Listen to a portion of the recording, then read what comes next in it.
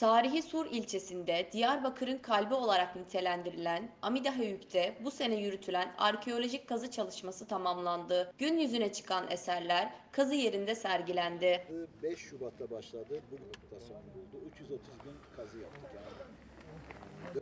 18 şeyi, 18 işçi, 12 de teknik eleman. 80